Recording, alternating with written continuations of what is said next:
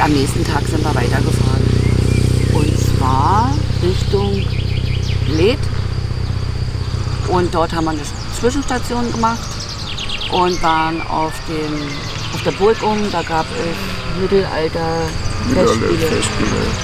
Leider konnte man im Ort nicht parken. Sehr, sehr schöner Ort. Und wir wären gerne mal ein bisschen da spazieren gegangen, aber es war leider nicht möglich. Aber dafür haben wir von dem Mittelalterfest ein paar schöne Aufnahmen gemacht, auch vom See. Und die werden wir euch jetzt mal zeigen.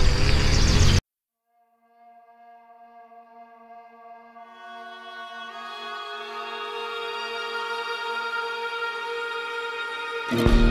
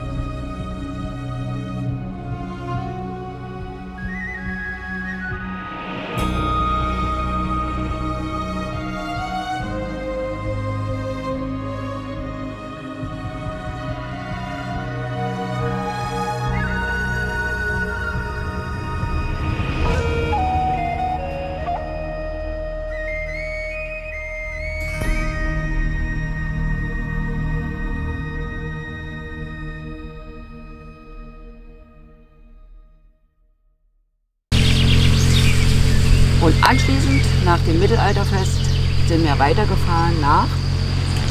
Jetzt kannst du mal was sagen. Nach Kranskoja oder Gora oder wie das heißt. Das ist dieser Wintersportort hier in Slowenien. Hier sehr bekannt, wo auch jedes Jahr Abfahrtsrennen sind. Ja, da sind wir eigentlich nur durchgefahren, um weiterzufahren hier in das Tal. Sind da auch an schönen See noch vorbeigekommen, den gucken wir uns jetzt auf der Rückfahrt dann auch noch mal an. Weil da auch an dem Tag so viel los war. Ja, ne? war Sonntag. Es war Sonntag halt, Es alles war, war- draußen, schönes Wetter. Das ne? war ja auch das Problem mit Regen. Es war Sonntag, die ganze Stadt war voll mit Leuten. Alle. Dann noch das Mittelalterfest dazu. Was gut gemacht war in Blade war, das mit dem Parken und mit dem Hochfahren auf Ja. die Burg. Das ging super. Ach, das stimmt, das habe ich vergessen zu sagen. Ja. Ja. Also die haben das super gelöst da. Das war äh, in einer Tour gingen da kleine Busse, die waren kostenfrei. Ja, und der Und- Parkplatz hat auch nichts gekostet. Der Parkplatz hat auch nichts, genau. Das war super gemacht. Eintritt in die Burg, ganz klar. Logisch, 11 Euro, glaube ich, pro Pro Person. Person, ja. Aber der Blick von da oben ist, ist es wert. Der Blick über Blade und den See und diese Insel da, das ist Postkartenidylle. Das ist kitschig. Ja, das muss man gemacht haben, wenn man da ist. Das Ja. ist Und auch der See jetzt, wenn wir da zurückfahren in Kranz, Goa, äh, das ist auch wenn das da nicht, nicht so voll gewesen wäre an dem Tag in Blade, wären wir auch noch mit dem Boot da auf die Insel rüber gefahren. Aber das war, ging gar nicht. Das ist also Nee, sonntags. wir haben ja auch keinen Parkplatz gekriegt. Nee. Nee. Naja, und dann sind wir hier in dieses Brentertal gefahren. Ja. Und äh, sind dann zu der russischen Kapelle. Also wir sind dann reingefahren in das Tal, dann ging es los. Die Serpentinen. Und sind erstmal zur russischen Kapelle. Die wollte ich mir unbedingt angucken. Die äh, wurde gebaut äh, nach dem oder im Ersten Weltkrieg für die Soldaten, für die russischen. Ja. Und ähm, das war leider zu. Ich habe mal die Ja, Schlüssel ist- aufgeguckt. Die ist immer zu. Die ist nie auf. Aber man hat drinnen so gesehen, haben schöne Bilder und so. Aber ja, gut, man konnte nicht rein.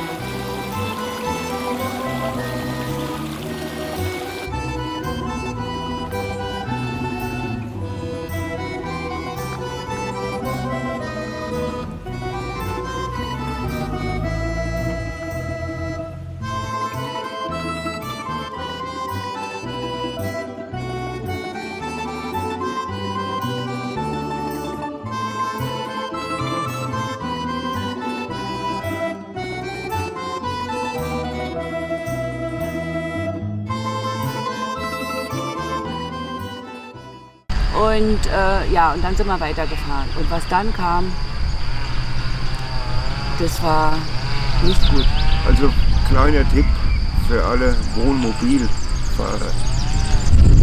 Das Auto sollte nicht riesengroß sein. Also mit einem, was weiß ich, mit einem, äh, Sieben Meter lang oder ja, das 57 ist noch Meter den, lang. aber sagen wir, so, ein, so ein richtiger, so ein, so ein heißt? Phoenix oder Morelo, die kannst du in Tonne kloppen. Also Geht das war, diese Serpentinen, jetzt waren, sind 50 Kehre und das ist eine sehr schmale Straße. Geht immer nur einer vorbei. Eigentlich, der eine muss eigentlich immer warten, ne, wenn du rumfährst. Ja, wenn du dich, wenn du, ja, wenn du rumfährst, ja, wird dann Wird's eng. Und das war mit Sicherheit eine der schwierigsten Straßen, die ich bis jetzt mit dem Wohnmobil gefahren bin. Und unseres ist nur sechs Meter lang und auch nicht so breit. Und ein Tipp am Rande, also sonntags bei gutem Wetter würde ich dann nie wieder fahren, weil du dermaßen viel Ausflugsverkehr hast. Motorradfahrer ohne Ende. Und es ist sehr, sehr, sehr anstrengend gewesen, bis wir dann endlich hier im Tal waren. Also das war eine Tour, die hat uns beide alle Kräfte abgefordert, muss ich ehrlich sagen, weil ähm, Michael musste sich total konzentrieren. Ähm, ich bin bei 1000 Tode gestorben, ich habe Höhenangst und dann geht das dann rechts, aber so, richtig so, ohne teilweise Absperrungen und wenn dann mal so ein paar Grenzsteine, die da liegen, sind an der Seite. Also die Trollstigen in Norwegen, die sind dagegen ein Witz, wirklich, echt wirklich ein Witz. Also das war eine Straße, ich bin so, also das war die schlimmste Straße, die ich bis jetzt in meinem Leben gefahren bin, muss ich ganz ehrlich sagen. Wir Und sind wir schon müssen sie nochmal fahren. wir sind so viele Straßen schon gefahren, also in der Schweiz, Pässe, überall. Aber die hier, die hat es echt in sich. Und Ja. die im Tal hier hinten auch, die ist auch eng. Sehr eng, aber es geht. ne? Ja, hast ja Aber Spitzkehren nicht wegrennen. Da diese 50 Kurven und wir müssen die morgen wieder zurück. Oh, ich darf gar nicht dran denken. Ich setze mich hinten hin. Oder ich, ich, ich kann da nicht gucken. Das ist so heftig, diese Tour. Wir sind abends hier angekommen. Wir waren beide völlig entkräftet, auch ein bisschen entnervt. Wir haben ja dann auch Hunger gehabt. Das kam noch dazu. Also ich zumindest. Wir hatten ja nur gefrühstückt, nichts groß gegessen. Dann haben wir uns noch hier ein kleines Lokal gesucht. Michael hat Pizza gegessen und ich äh, ja, eine Kleinigkeit und ab auf den ersten Campingplatz zurück. Ja, Äh, und in Trenta, das, der war, wie hieß der? Äh, Autocamp Trenta. Autocamp Trenta, Sergei Bolchina. Ja, ist wohl der Eigentümer. Ja, Ganz Und, nett. Sehr nett. äh, der war sehr nett, der Eigentümer. Und es war auch ein schönes Plätzchen, kann man nicht anders sagen. Es hatte ein bisschen an der Straße oben. Ja. War dann also an dem Sonntag ein bisschen lauter, aber jetzt so unter der Woche ist da ja nicht so viel Verkehr hier. Also es ist ein schöner Platz gewesen. Wir wollten ja eigentlich zu diesem Campingplatz Triglav, Ja, aber der hatte zu. der hatte zu bis Ende Juni. Das Ist war ja dann das zu, Drama. Dann sind wir bis dahin gefahren, haben uns gefreut, dass wir endlich nach dieser Tour angekommen sind. Und dann hatte dieser Campingplatz zu. Und dann wussten wir ja nicht wohin. Und dann sind wir noch ein Stück weiter gefahren ins Tal rein und dann wieder umgedreht. Und naja, egal. Also es war eine, also den Tag, den haben wir gestrichen. Da haben wir einen großen Haken dran gesetzt. Ja, Der war sehr anstrengend gewesen. Und jetzt befinden wir uns hier auf dem Campingplatz Klin. Klin, ne? Klin, ja. Klin. ja, wir wollten ja zu diesem Bauernhof hin. Ja. Der, aber der war voll. Die hatten, die, ich weiß nicht, wie heißt das Ding da? Dieser Bauernhof? Weiß ich nicht. Camp, Camp, auch irgendein Autocamp, irgendwas. Ja, es gibt hier so einen kleinen äh, Campingplatz. Die, äh, das ist ein Bauernhof, die machen auch selber Käse. Und wir hatten den auch bei Iris und Uwe in dem Video gesehen. Die haben da gestanden, äh, als die hier waren. Ich weiß es nicht, wie es heißt. Und wir sind da hingefahren und ähm, haben uns dann äh, den Platz eigentlich ausgesucht gehabt. Aber da kam dann wohl am nächsten Tag eine größere Gruppe und Ja. da waren die schönen Campingplätze äh, waren belegt. Und wir hätten nur noch einen Platz haben können. Und der wäre Direkt am direkt, direkt am Schweinestall gewesen, also in Front auf. das hat. Und Nee. irgendwann kam dann so, Ja, so ein Duft uns entgegen und haben wir gesagt, erst hat man nämlich gesagt, wir bleiben da und dann kam irgendwann so ein Duft und ich gedacht, nee, oh nee, das halte ich nicht aus, das geht nicht. Also schön Bauernhof, alles gut und schön, aber das geht gar nicht. Aber dann haben wir auch gesehen, dass wir wirklich in Front auf von dem Schweinestall gestanden haben. Ähm, ja, dann sind wir weitergefahren und sind dann hier zu diesem Campingplatz Klin gekommen und ähm, der ist ähm, wirklich sehr, sehr schön. der ist toll.